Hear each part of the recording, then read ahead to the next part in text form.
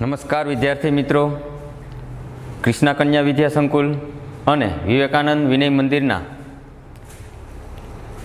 સંયુક્ત ઉપક્રમે યુટ્યુબ ચેનલમાં આપનું સ્વાગત છે. તો આપણે ધોરણ બારમાં અર્થશાસ્ત્ર વિષયમાં, અર્થશાસ્ત્રમાં આલેખ ચેપ્ટરનો અભ્યાસ કરીશું. જેમાં અર્થશાસ્ત્રમાં વાસ્તવિક જીવનની અંદર અમુક વિવિધ પ્રકારની ઘટનાઓ બનતી હોય છે અને એ ઘટનાઓની સમજૂતી અપાતી હોય. આ ઘટનાઓની સમજૂતી છે એ તેનું વિશ્લેષણ કરવામાં આવે. અને અર્થશાસ્ત્રમાં જે રાજ્ય છે બેન્કો છે, આંતરરાષ્ટ્રીય સંસ્થાઓ છે, આ બધાએ આપેલી માહિતી છે. એ માહિતી આંકડાઓ દ્વારા રજૂ કરવામાં આવે અને આ આંકડાઓ દ્વારા માહિતીને કેવી રીતે રજૂઆત કરવી તે અલગ અલગ પ્રકારથી રજૂઆત કરતા હોય છે અને તેનું અલગ રીતે વિશ્લેષણ થતું હોય છે. પરંતુ પ્રજા માટે આ માહિતીને કેવી રીતે પહોંચાડવી તેના માટે પણ એક અગત્યની બાબત હોય છે કે જે પ્રજા સુધી આ માહિતી કેવી રીતે પહોંચાડી શકાય. દાખલા તરીકે, આપણે કોઈ પણ પ્રકારની વસ્તુ છે કે એ વસ્તુને આપણે કોઈ પણ લોકો સુધી પહોંચાડવી છે, તો શું કરવું પડે? તો કે અર્થશાસ્ત્રની અંદર બે પ્રકારની બાબતો રજૂ કરવામાં આવી છે, કે આકૃતિ અને આલેખ. કે કોઈ પણ પ્રકારની વસ્તુ છે તે તૈયાર કરતી વખતે બે પ્રકારની બાબતોથી આકૃતિ અને આલેખ દ્વારા તેની રજૂઆત કરી શકાય. પરંતુ આ માહિતી છે એ લોકો સુધી કેવી રીતે પહોંચે અને લોકો આ માહિતીને કેવી રીતે સમજે તેના ઉપર તેની તમામ પ્રકારની બાબતો છે તે સ્પષ્ટ રીતે રજૂ થતી હોય છે. તો તેની અંદર જોઈએ આપણે અર્થશાસ્ત્રની અંદર આલેખ ચેપ્ટરમાં આકૃતિ અને આલેખનો અર્થ કે આકૃતિ અને આલેખ એટલે શું? જોઈએ. આકૃતિ. પ્રથમ વખત આકૃતિને સમજવાનો પ્રયત્ન કરીએ કે તેની અંદર નંબર એક કે માહિતીની ચિત્ર દ્વારા રજૂઆત એટલે કે આકૃતિ. આકૃતિની અંદર કોઈ પણ પ્રકારની માહિતી છે, તેની રજૂઆત કરવી છે તો કોના દ્વારા થાય છે? તો કે ચિત્ર દ્વારા. ચિત્ર દ્વારા રજૂઆત કરવી એટલે કે કોઈ પણ પ્રકારની બાબત એવી છે કે જે લોકોને એવી રીતે તમે સમજાવો કે એ જોઈ અને પછી એ વસ્તુ સુધી પહોંચશે, તો એને એ વસ્તુ સુધી પહોંચવા માટે એવો સંતોષ પ્રાપ્ત થશે કે તેણીએ એ વસ્તુને ખરેખર રીતે શું કર્યું છે? તો કે જોઈ, સમજી, જાણી અને પછી એ વસ્તુને શું કરી?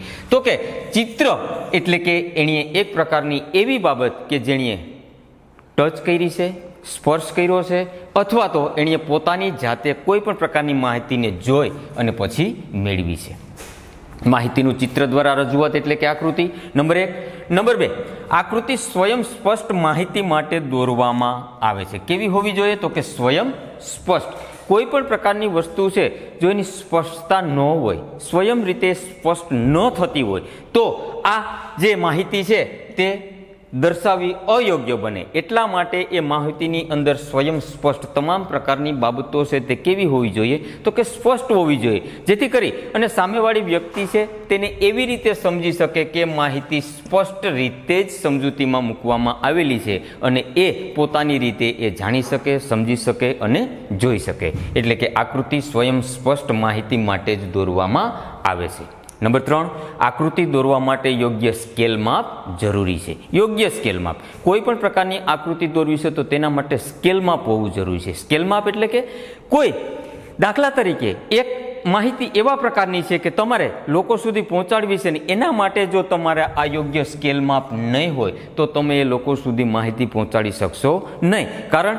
કે આકૃતિ દોરવા માટે કોઈ પણ પ્રકારની વસ્તુ એવી છે કે તેનો સ્કેલ માપ જરૂરી નક્કી કરેલો હોય અને આ સ્કેલ માપના આધારે જ એ માહિતી છે તેના સુધી પહોંચાડી શકાય. પરંતુ આ માટે આંકડાશાસ્ત્રનું ઊંડું જ્ઞાન હોવું જરૂરી નથી. કારણ કે એના માટે તમારે કોઈ આંકડાશાસ્ત્રના ઊંડા જ્ઞાનની જરૂરિયાત નથી.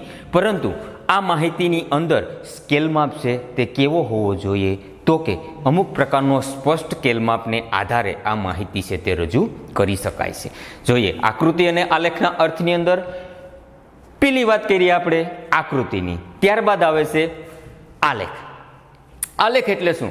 તો કે માહિતીની આલેખ પત્ર પર રેખા કે વક્ર રેખા દ્વારા રજૂઆત એટલે કે આલેખ. કોના ઉપર?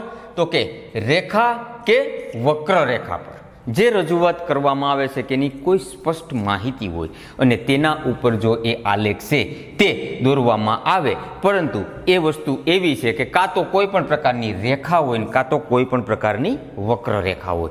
તેના ઉપર જ એ માહિતી છે. એની રજૂઆત કરવામાં આવે એટલે કે આલેખ. એને શું કહેશું? આલેખ. નંબર એક. નંબર બે. માહિતી સ્વયં સ્પષ્ટ ન હોય ત્યારે આલેખ દોરવામાં આવે છે. અહીંયા એવું કીધું કે આકૃતિની અંદર માહિતી સ્વયં સ્પષ્ટ હોવી જોઈએ. આકૃતિમાં. પરંતુ આલેખની અંદર માહિતી સ્વયં સ્પષ્ટ ન હોય, ખાસ કરીને ન હોય. એટલા માટે આલેખ દોરવામાં આવે. કારણ કે આલેખની અંદર કોઈ પણ પ્રકારની માહિતીની સ્પષ્ટતા ન હોય, ત્યારે આ આલેખને દોરી શકાય. કારણ કે અહીંયા જે આકૃતિની અંદર કીધું છે, તે આકૃતિમાં એવું કીધું છે કે આલેખ કેવો હોવો જોઈએ? તો કે સ્વયં સ્પષ્ટ હોવો જોઈએ. અને આલેખની અંદર સ્વયં સ્પષ્ટ ન હોય તો પણ ચાલશે. આકૃતિમાં સ્વયં સ્પષ્ટ હોવું જોઈએ. નંબર ત્રણ. આલેખ દોરવા ચોક્કસ સ્કેલ માપ અનિવાર્ય છે. આલેખને જો તમારે દોરવો હોય તો તેના માટે ચોક્કસ એટલે કે કોઈ પણ પ્રકારનું પરફેક્ટ સ્કેલ માપ કે તેની કોઈ પણ પ્રકારની માહિતી તમે મેળવો છો, તો તો એ કેવું છે? અનિવાર્ય છે. તેમજ આંકડાશાસ્ત્રનું ઊંડું જ્ઞાન પણ હોવું જોઈએ કે તમે આની અંદર પણ અમુક પ્રકારનું આંકડાશાસ્ત્રનું જ્ઞાન છે તે જાણતા હોવા જોઈએ. કારણ કે આલેખની અંદર અમુક પ્રકારની માહિતી એવા પ્રકારની હોય છે કે જે આલેખ દોરો આલેખ દોરી દીધા બાદ એની અંદર એવા પ્રકારની વસ્તુ છે કે જેની અંદર તમે જો આંકડાશાસ્ત્રનું ઊંડું જ્ઞાન ધરાવતા હશો, તો તમે આલેખ સરળતાથી સમજી શકશો, આલેખ સરળતાથી તમે દોરી શકશો અને વિદ્યાર્થી સુધી આ માહિતી પહોંચી શકે એટલા માટે આ તમામ પ્રકારની બાબતો છે. તે આપણે અહીંયા આ આકૃતિ અને આલેખની અંદર આવી રીતે આપણે સમજ્યા છીએ. કારણ કે અર્થશાસ્ત્ર એવા પ્રકારની બાબત છે કે જે વાસ્તવિક જીવનની અંદર આવા પ્રકારની ઘટનાઓ બનતી હોય અને આ ઘટનાઓની અંદર અમુક પ્રકારનું વિશ્લેષણ કરવામાં આવે. દાખલા તરીકે, એવા પ્રકારની બેંક, રાજ્ય, આંતરરાષ્ટ્રીય સંસ્થાઓ છે, એ શું કરે છે? તો કે પોતાની આંકડાકીય માહિતીની રજૂઆત કરે. અને આ આંકડાકીય માહિતીની રજૂઆત કરે ત્યારે તેની પાસે આ બે બાબતો છે, તે કેવી હોવી જોઈએ? તો કે પરફેક્ટ હોવી જોઈએ, તેના આધારે જ એ વસ્તુની રજૂઆત કરી શકે. અને એ બે માહિતી એવી છે કે જેનું એ શું કરતા હોય છે? તો કે વિશ્લેષણ કરતા હોય અને વિશ્લેષણ કરી લીધા બાદ એ પ્રજા સુધી આ માહિતીને પહોંચાડતા હોય છે. કારણ કે કે આનું વિશ્લેષણ થયા પછી પ્રજા સુધી આની માહિતી પહોંચાડવામાં આવે. દાખલા તરીકે, કોઈ પણ પ્રકારની એક બાબતનું ફોર એક્ઝામ્પલ લઈએ કે ભારત દેશની વસ્તી, તો આ વસ્તીના આંકડા છે તે શું થાય? તો કે દર વર્ષની અંદર તેમાં ફેરફાર થતો હોય. વસ્તી વૃદ્ધિ દર, વસ્તી મૃત્યુ દર, આવા ઘણા બધા પ્રકારના આંકડાઓ એવા છે કે જે માહિતી પ્રજા સુધી પહોંચાડવી છે, તો પ્રજા ડાયરેક્ટલી તમે એને કહેશો કે આંકડાની માહિતી આપી દેશો, તો આંકડાકીય રીતે નહીં સમજે, પરંતુ એના માટે કાં તો આકૃતિ અને કાં તો જો આલેખ દોરી અને તમે એની સાથે સમજૂતીપૂર્વક રજૂઆત કરશો, તો એ લોકો એને સમજી શકશે કે ના, આ માહિતી છે તે સ્પષ્ટપણે આવી રીતે સમજી શકાય. અને એ લોકો આ પ્રકારની માહિતીને એવી રીતે સમજશે કે જેના કારણે આકૃતિ અને આલેખ દોરેલો હશે અથવા તો આકૃતિ દ્વારા રજૂઆત કરેલી હશે અથવા તો આલેખ દ્વારા રજૂઆત કરેલી હશે. તો એના માટેના જે આ નક્કી કરેલા પોઈન્ટ્સ છે, એ પોઈન્ટ્સને ધ્યાનમાં રાખી અને જો આની રજૂઆત કરેલી હશે, તો તમામ પ્રકારની બાબતો છે તે કેવી હશે? તો કે આની અંદર તમામ પ્રકારનું વિશ્લેષણ ખાસ રીતે થાય અને આ માહિતી છે તે પ્રજા સુધી વ્યવસ્થિત રીતે પહોંચે. એટલે કે પ્રજા શું કરે? તો કે પ્રજા માહિતીને એવી રીતે મેળવશે કે તમે કોઈ પણ પ્રકારની વસ્તુની રજૂઆત કરી છે, જેમ આપણે કીધું એમ કે વસ્તીના આંકડા. તો વસ્તી વૃદ્ધિનો દર, વસ્તીના આંકડા, મૃત્યુ દર, આ તમામ પ્રકારની માહિતી છે. તો એ કોના દ્વારા? તો કે ભારત સરકાર છે એવી રીતે રજૂઆત કરશે કે વસ્તી વૃદ્ધિ દર વર્ષે ભારતની વસ્તી કેટલી છે, વસ્તી વૃદ્ધિનો દર કેટલો છે, અને તેની અંદર પાછો આપેલો હોય સમયગાળો કે કયા સમયગાળાની અંદર કેવી રીતે કયા વસ્તીનો વધારો થઈ શકે. એટલે જે આકૃતિ અને આલેખ છે તે આ રીતે આપણે સમજી શકીએ. હવે, ત્યારબાદ આ બંને વસ્તુ સમજી લીધા બાદ આપણે સમજશું આકૃતિના પ્રકારો. કે આકૃતિ એટલે શું અને આકૃતિના પ્રકારો? એટલે કે આકૃતિ આપણે વિગતવાર જે માહિતી મેળવવા માટે કોઈ પણ પ્રકારની બાબતો તેની અંદર સમાયેલી હોય છે. કે આકૃતિ કેવી રીતે દોરી શકાય? આકૃતિની અંદર કયા પ્રકારની બાબતો હોય છે કે જેના આધારે આપણે આકૃતિ દોરી શકાય? તો આકૃતિના પ્રકારો ક્યાં છે? તો કે આકૃતિ.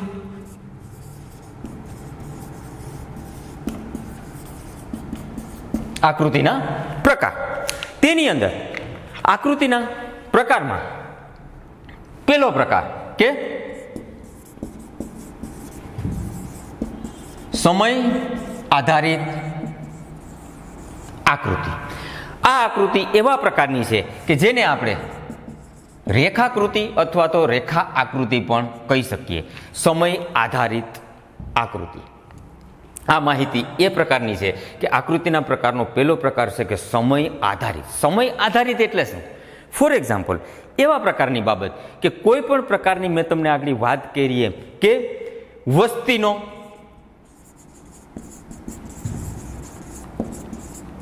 વૃદ્ધિદર. અને કોઈ પણ પ્રકારનો નક્કી કરેલો સમયગાળો.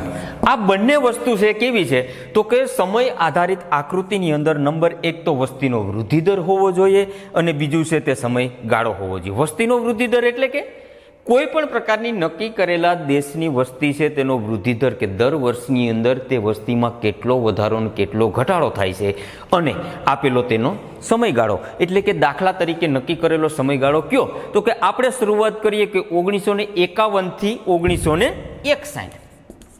ઓગણીસો એકાવનથી ઓગણીસો ને એકસાઠનો જે આ સમયગાળો છે, એ સમયગાળો કેવો? તો કે આ દસ વર્ષના સમયગાળામાં જે વસ્તીનો વૃદ્ધિ દર અને તેના સમયગાળાને ધ્યાનમાં રાખીને તેની અંદર કેટલો ટકાવારી ફેરફાર થયો છે તે અહીંયાથી જાણી શકાય.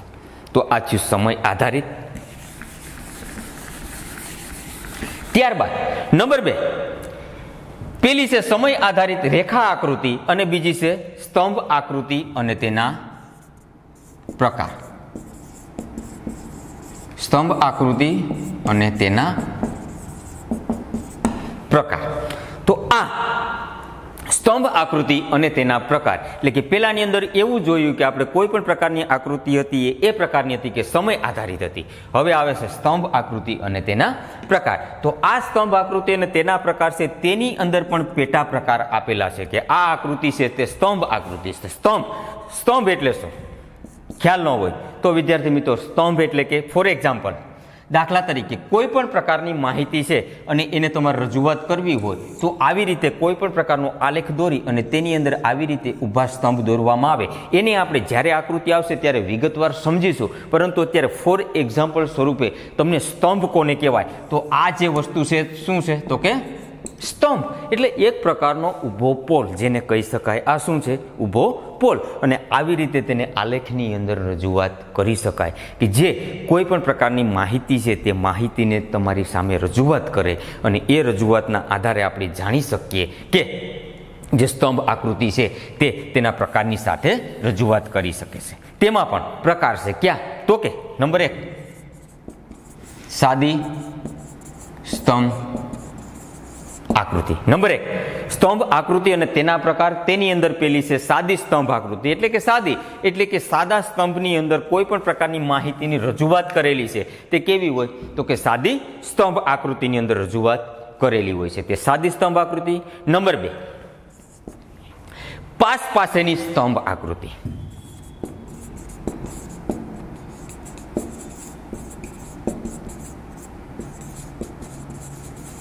આ થઈ પાસ પાસેની સ્તંભ આકૃતિ.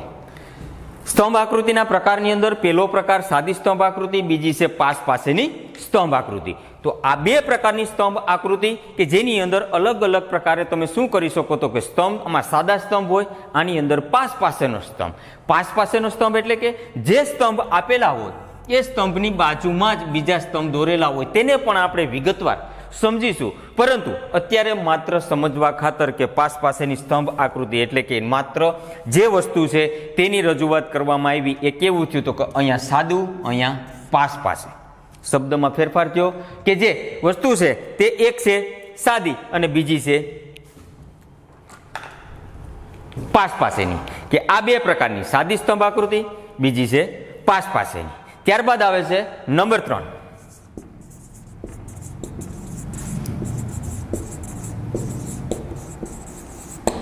વિભાજિત સ્તંભ આકૃતિ.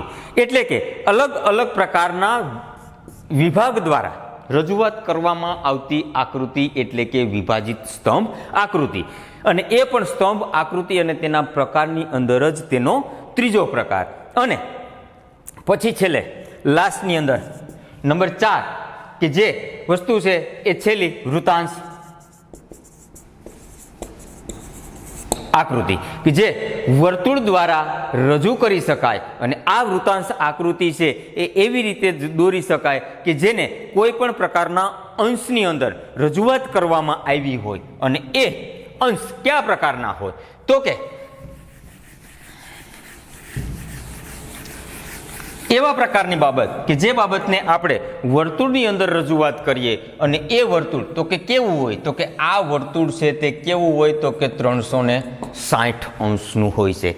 અને આ ત્રણસો ને સાઠ અંશના વર્તુળની અંદર વૃતાંશ આકૃતિ દોરવામાં આવે અને આ વૃતાંશ આકૃતિ છે એ યોગ્ય સ્કેલ માપ, સ્કેલ, પરિકર તમામ પ્રકારની વસ્તુઓની સાથે દોરવામાં આવે. ફોર એક્ઝામ્પલ સ્વરૂપે છે, આપણે એને વિગતવાર સમજીશું.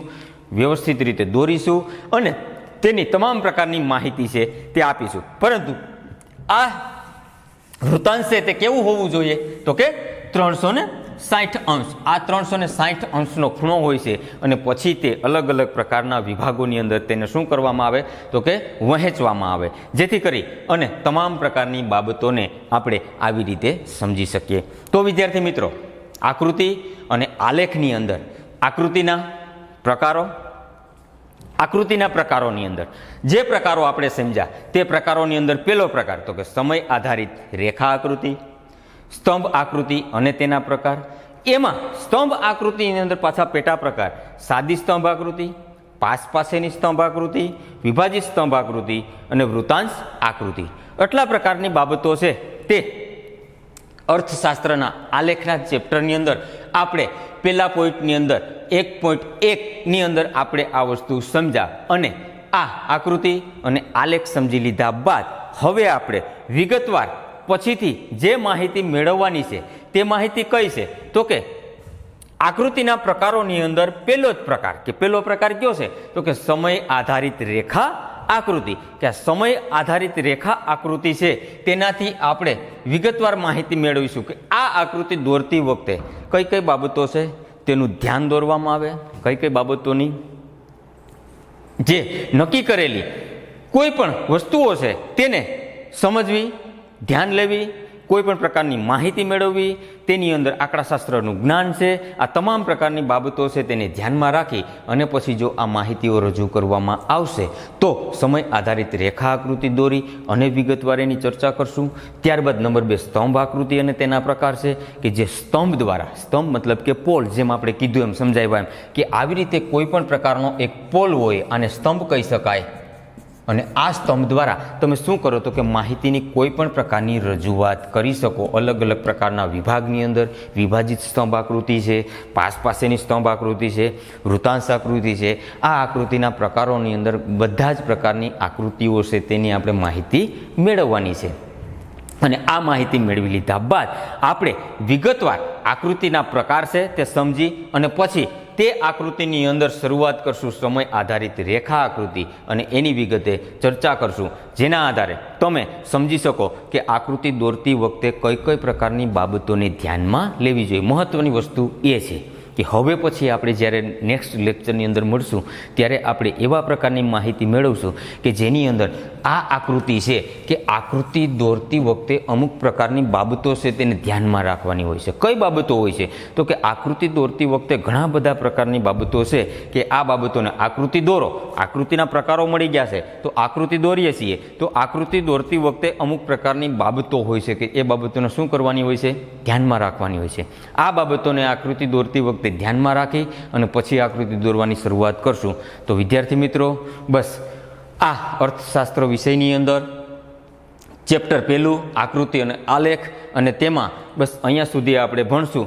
નેક્સ્ટ હવે પછી આપણે જ્યારે પાછા મળશું, ત્યારે બીજા લેક્ચરની શરૂઆત કરશું. ત્યારે આપણે મેં કીધું એમ કે આકૃતિના પ્રકારો સમજી લીધા છે. હવે આપણે શું કરવાનું છે તો કે આકૃતિ દોરવાની છે, પરંતુ આકૃતિ દોરતી પહેલાં તે આકૃતિ દોરવા માટે કઈ બાબતોનું ધ્યાન રાખવાનું છે તે વસ્તુને આપણે સમજવાનો પ્રયત્ન કરશું. ધન્યવાદ, નમસ્કાર.